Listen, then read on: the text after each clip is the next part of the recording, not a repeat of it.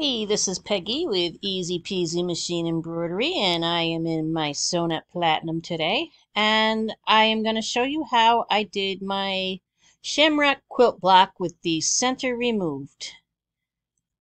This is what it looked like on the screen. Um, I didn't notice that it still had some lines going across it, but I'll show you how to easily remove those. I am hoping you all know how to uh, place the nodes and whatnot to make the shamrock. This is the base that I started with. And after I placed my nodes, I got this. So what I'm going to do is go ahead and open up the create module. So there is the create and I'm going to open up digitizing. And real quick, so I'm going to load my background picture. And it is going to go out to the shamrock. And I am going to crop that down.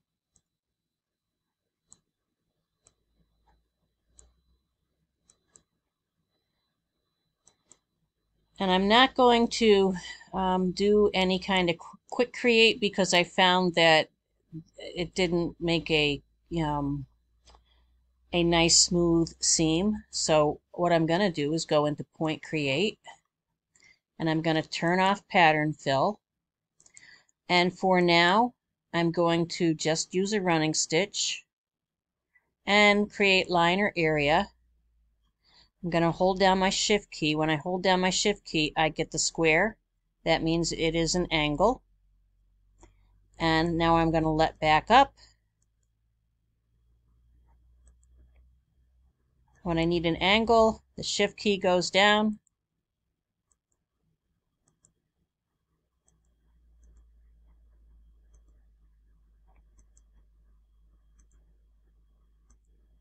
And you can straighten out those nodes if you have to. I'm just going to do this real quick.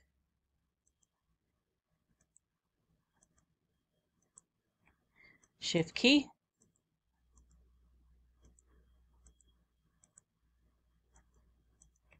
Shift key.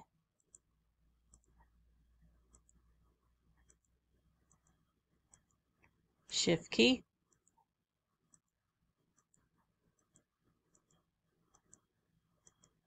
Shift key. And then lastly, I'm just going to take that last node and left click and drag it down over the first one. Right click, and there you have your running stitch. Now you can right click once, twice, and you can add your fill. And I just did any old fill for now and I made sure that it was a color that I was not going to use. And sometimes I actually will just choose another manufacturer. So I know that it's a different um, color than what I'm going to be using in the design. Okay, so next I'm going to do an export. And just for kicks and giggles, let's do Da da da da da da da. Oops, wrong folder. No wonder I couldn't find it. Video Shamrock. So I'm going to call it Shamrock Filled. Okay. So I'm just going to overwrite that one. And say yes. And if you decide that you want to even things out, you still can. If you find that you want to add another node, you go to the Home tab and say Insert Point. And that'll allow you to insert a point. You just need to remember that after you've inserted that point, you need to go back to Edit Points so that you can move them around the way you want them. Okay? So you get the idea with that. The other thing I always do is um, We've exported it. We're going to do a save as. Make sure I save as an EDO. Um, it should just stay there when I close out because this is MySewNet Platinum. This is the MySewNet system and it's very seamless that way. But just because I tend to bebop in and out and multiple designs and things, sometimes it doesn't save what I've just created. So I always save an EDO file. Anyway, all right, so now we have this. And there's one more thing I want to do to that clover. So I'm going to do a right click over the film strip and say fixes stitches. That's going to change this little tulip from the digitizing. And if I go back, notice how this little um, uh, petal of the tulip is changed now. If I go into fixes stitches, that changes. That goes away. So now I can no longer go in and edit my design. But I can go into Stitch Editor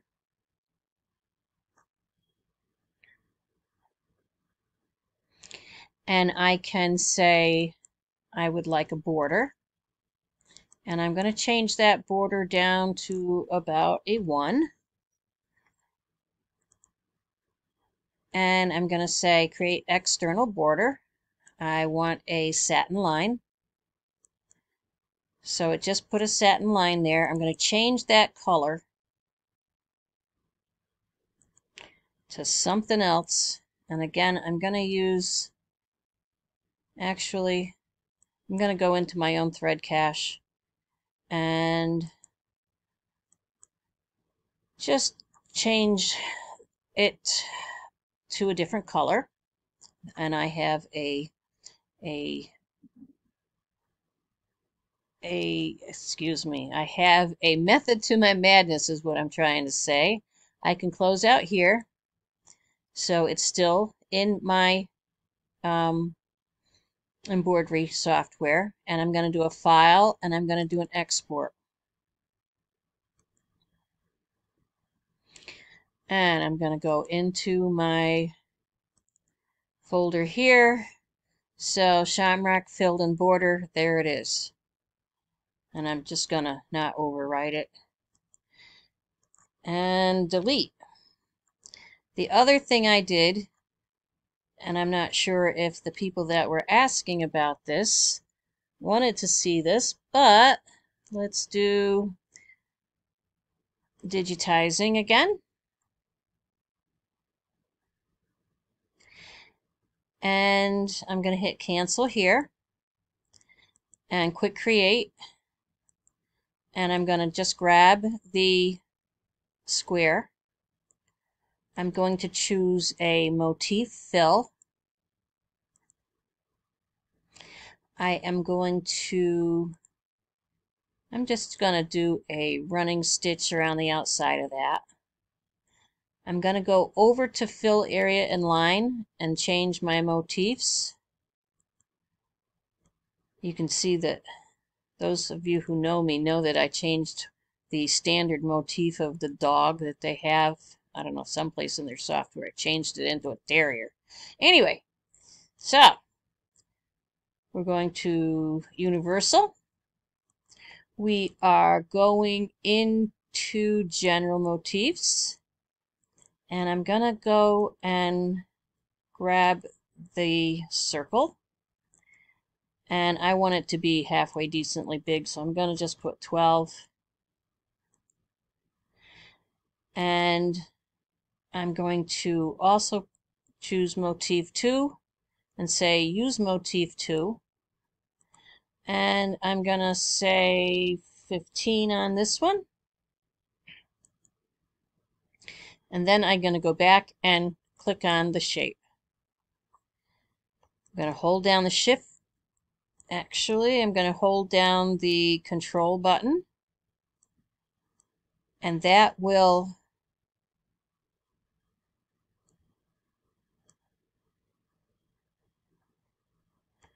resize it proportionately. Okay, and again, I'm going to change the color to something else. Okay, so right now it is, well, I'll leave it a little darker so you can see what I'm doing. So this is another file. We're going to say export it. And I'm going to call it base.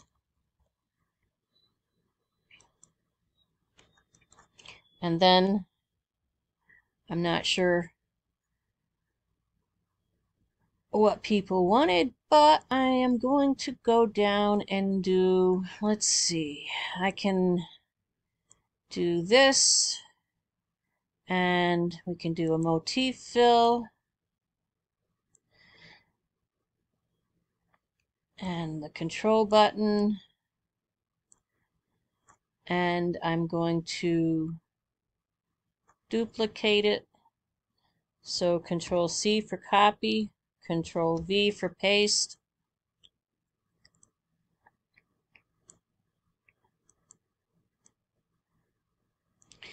And the base was just created this way. I just went through and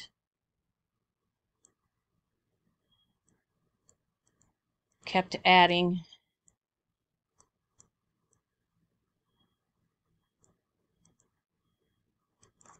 more and more different shapes and whatnot. Here's another one. I'm going to put you out here and now I'm going to center it. Okay, so I kept doing that with different shapes and whatnot. And then I changed them all to the same color.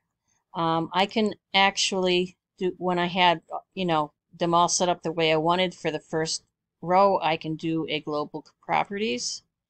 And I can say I want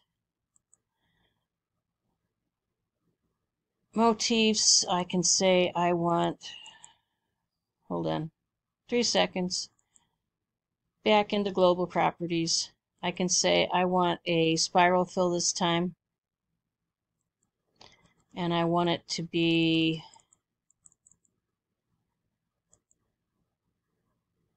less, uh, I want to change that density. You can go up to a 40. And if you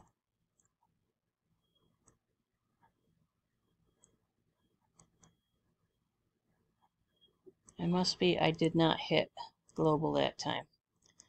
Okay. So, if I had global, it would have changed every single one of those. Anyway, so that's how that base was made. Then I went back into the regular embroidery program and I, wrong video, did the base first and then I inserted the shape file that I did. And then I inserted the shamrock with the border. And again, I want to make sure that my colors are very different. So I'm going to change that to pink for now. And I think we have colors that are different now. And I'm going to go to the home. I'm going to do a combine all.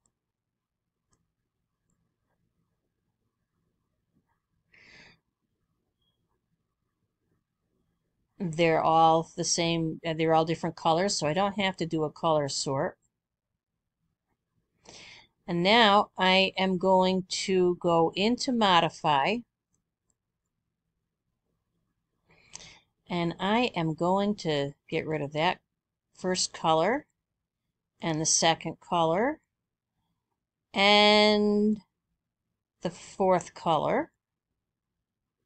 And I'm just going to do a box select. Remember, I'm in the Modify tab. And I'm going to hit delete there. Now, I go home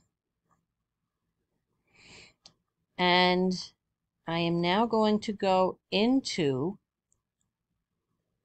a left click over on the film strip, edit and stitch editor, and I am going to zoom in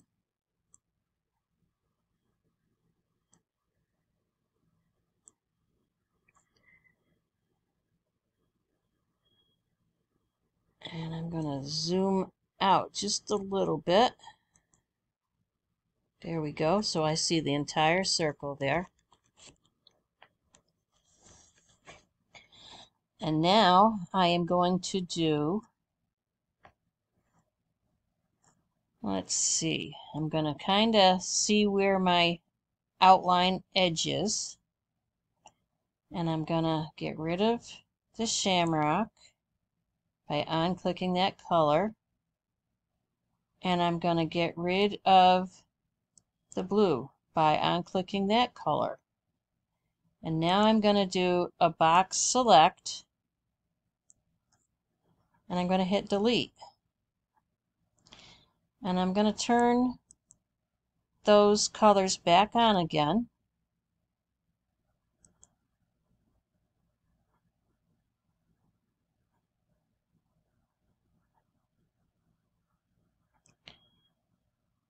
and I'm going to do from corner to corner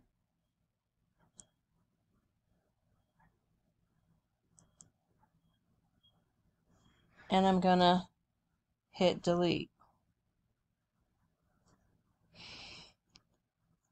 And I'm going to turn those back on again.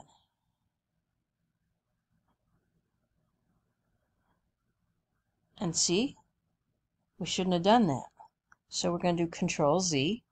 Control Z is your friend. So I'm just going to go back to that center.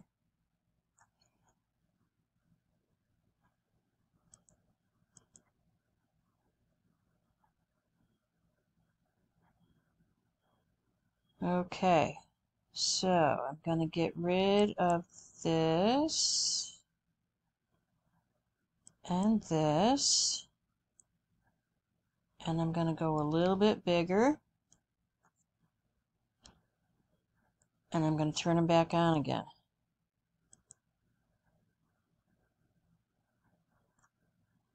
And I'm going to keep doing that.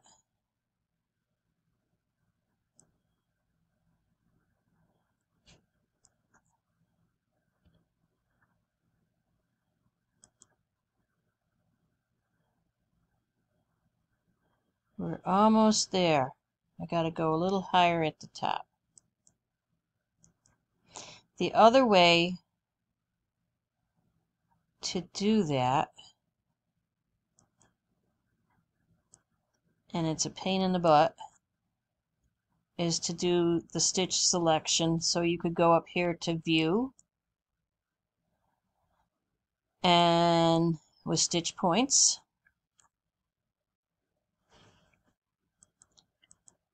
And now you can see the stitch points.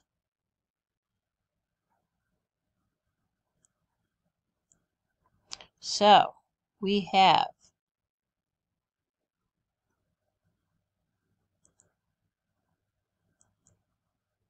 we got to go home, select stitches. I believe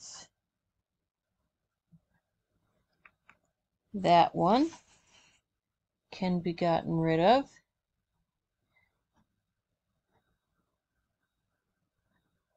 This looks like one that is out of place. And this one looks like it is out of place. And then I can go to Insert Trim Command. And I can turn that line into a dotted line and now it is a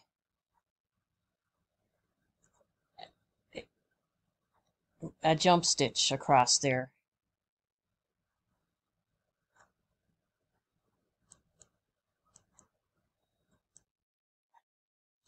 And you keep doing that to the to the lines that you don't want to deal with.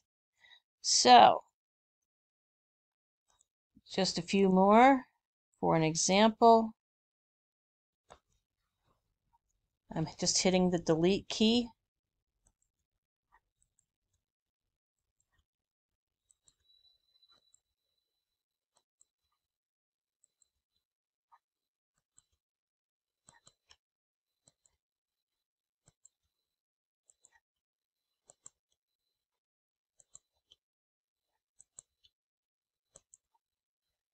And it gets rid of that. Here's another one.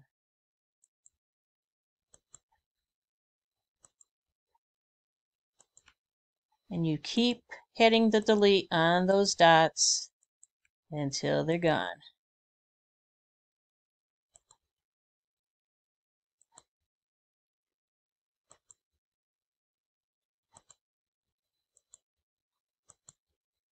Okay and I'm going to go to modify to trim command. Added a trim command there turned it into a dotted line.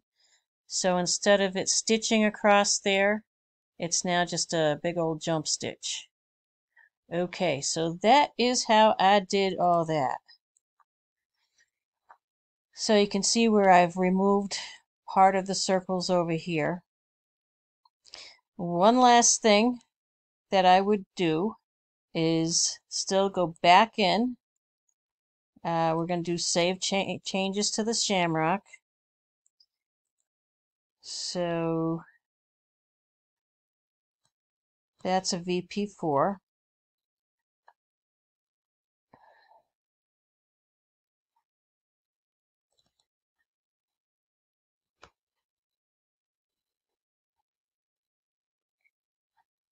And that's the one I didn't want.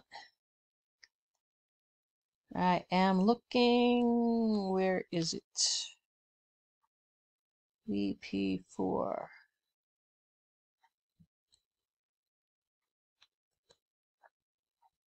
Another way to tell how to do this is to look at the time. 1244. Oh, I know what it, what it is anyway. Uh, 116, I did the purple outline, so here it is. And the last thing that I would do, and I'm going to change the name of it so I know what it is. I'm just going to put a bunch of S's there. All right, going to close that out. We're going to blank canvas. So there's one more thing I need to do. Some of you may have noticed that.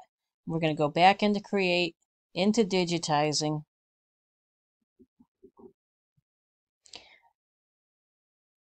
hit cancel here, insert embroidery, here's the file we just did, there are some blank spots here. So I'm just going to go into point create, I'm going to turn off my pattern fill, and create liner area, and just click and fill those out.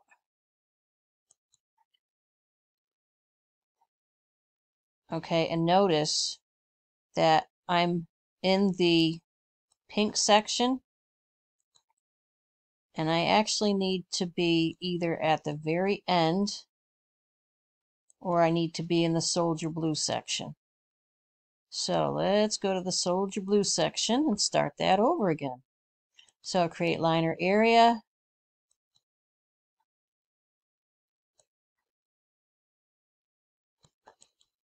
Here's one, two, three, four, and we're done. Okay, so that's how I made that shamrock. Um, and the big, big, big, big thing, I'm going to do an export. just because we're going to say edit from embroidery.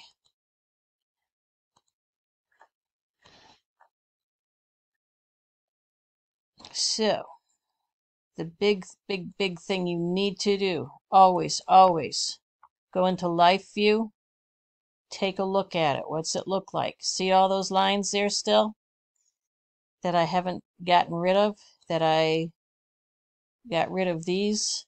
I still need to go into here and remove those. Same way I showed you by deleting those stitch lines and then hitting the trim command and that will change it over into a jump stitch.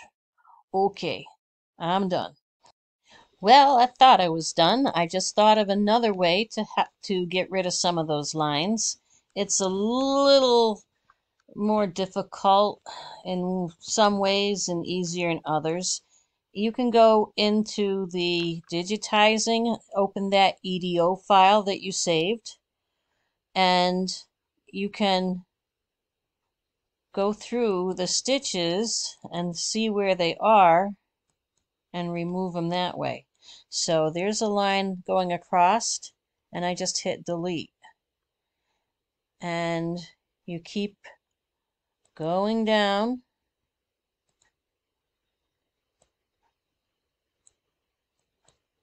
There's another one. You can hit delete.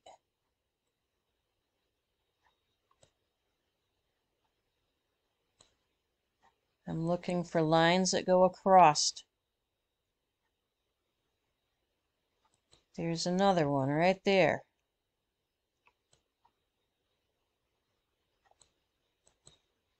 There's another one. Sometimes you can do it this way. Sometimes you can't. Uh, that we can get rid of. This one we can get rid of. This one we can get rid of.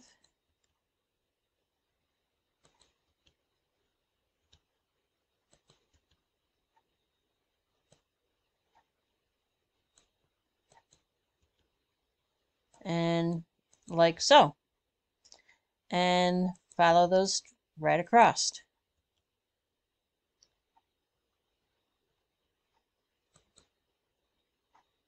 Uh, that does not look like something I want to remove. Remember, if you accidentally remove something, to do a control Z immediately or an undo. Okay, there was one. I still got two or three up here that I can still totally remove them. There's one.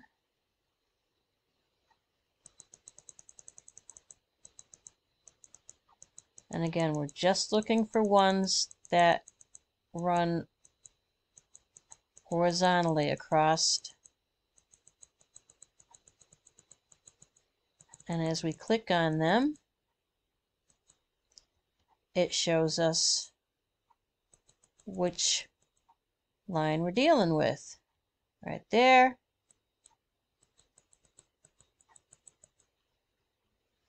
And I still got, uh, there's one. There's one, and I see one more. And that's not it, and I don't see where it is, so I'm going to scooch up a little bit.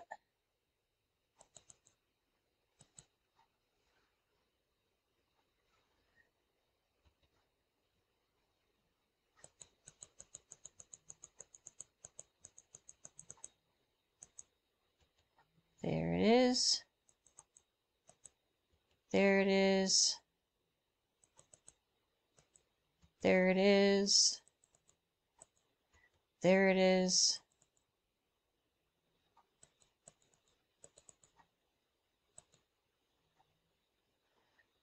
That's not something I want to hit delete on. Okay. So that's how an easier way. Depends on what you're actually doing. Here's another one that needs to be removed. And it is blue. So ungroup it. Go down into the blue.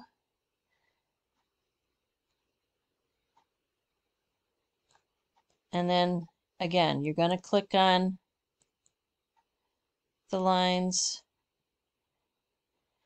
until you get to the one that you want to get to and then you hit delete and you're good to go. All right. Now I'm done.